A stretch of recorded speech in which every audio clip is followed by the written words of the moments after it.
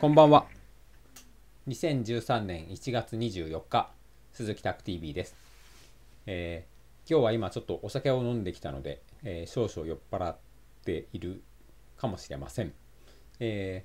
ー、今朝は町朝カフェの会がありまして、えまあ、もう町朝カフェの会は毎週木曜日ということで定着して、え自然と人が集まる流れになってきています。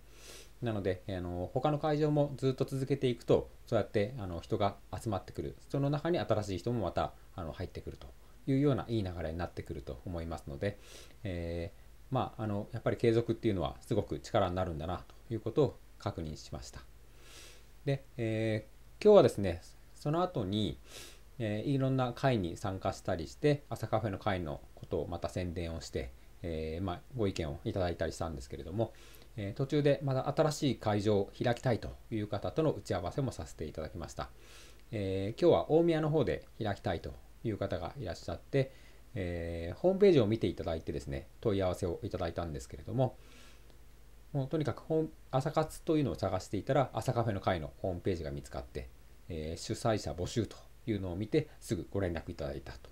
いう、すごく行動力のある方でした。そして、え、まあ、本当にですね、真面目というかあの、まあ、やっぱりこういった会の趣旨をですねすごく理解してくれた方なんですね。なのできっと大宮という会場もまた素晴らしい会場になっていくんじゃないのかなというふうに思っています。それから、えー、まあ、2月には、山形の方でも一応始めましょうというお話を進めています。えー、まあ、あの、朝カフェの会自体はですね、あのそんなにあのかしこまった感じではなくて気軽に開催できるというところはあるんですけれどもただそうは言っても主催者の方が頑張ってやろうという決断をしていただくというのがまずは第一歩目ですのでそういった旗を立てていただいている方には本当に心から感謝しています。えー、まああの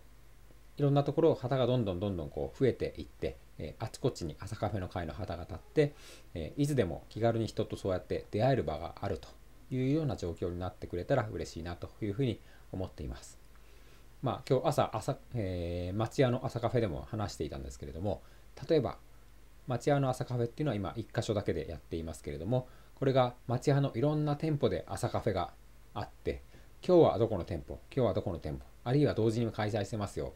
ということような形でじゃあ今日は町屋のどの店舗に行こうかなとかそんな感じでですねあのカフェがあの人のつながりの拠点になっていくというのが、まあ、究極の行き着くところなのかなというふうに思っていますので、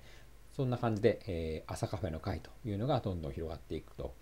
いいなと思っています。えー、2月には大宮とか山形も始まってきますので、それから我孫子も2月には始まりますので、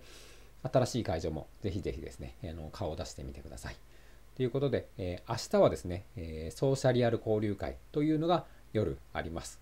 これは結構大きな規模の交流会になりますので、えー、誰でも気軽に参加できますので、えー、遊びに来てください。朝は北千住の朝カフェの会にいつも通り参加しますので、そちらの方もぜひ、えー、いらっしゃってください。ということで、明日もよろしくお願いします。